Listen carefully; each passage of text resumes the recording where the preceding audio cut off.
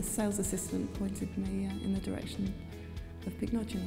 I was most concerned about my skin, so they said that actually it could help, you know, combat the signs of aging. Somebody said that I did look younger, which was great. It's a little bit more vibrant and it's a little bit more, little bit more life in it, I think. I take pycnogenol every day just as part of my daily routine.